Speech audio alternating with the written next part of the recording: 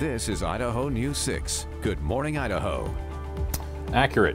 Good morning. Welcome back to Good Morning Idaho on this Monday. I'm Matt Sizemore.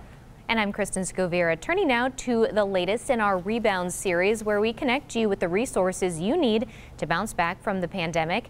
Well, according to the Idaho Department of Labor, unemployment rates, they are down, but the need for skilled workers is up. This morning, Idaho News 6's Rebound reporter Natasha Williams introduces us to another local program looking to help Idahoans get back on their feet. Let's go to her live right now. Good morning, Natasha. Good morning, Matt, and good morning, Kristen. That's right. Last week, I introduced you to Idaho Job Corps. That's a local program working to help youth specifically. And today, I'm introducing you to Idaho Launch. That's another program. It's not even a year old yet, but it's already making a big difference.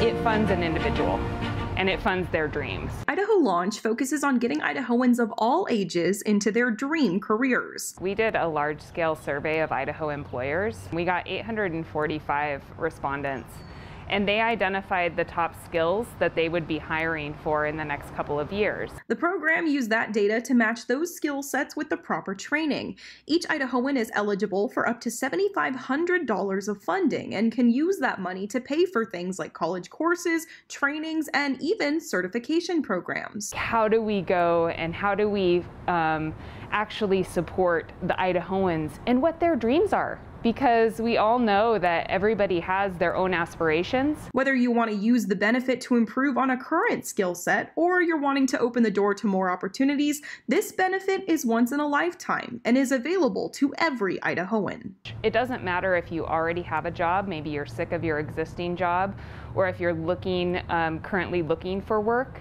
you are still eligible as long as you're an Idaho resident who intends to use the benefit to work in Idaho. And if you'd like to check the program out, we actually have a link to the application as well as more information about Idaho Launch for you on our website. Just head to idahonews6.com and click the rebound. Coming up tomorrow morning on Good Morning Idaho, I will show you yet another program that is working to help Idahoans get back to work. But for now, live from the Idaho State Capitol, I'm Natasha Williams, Idaho News 6.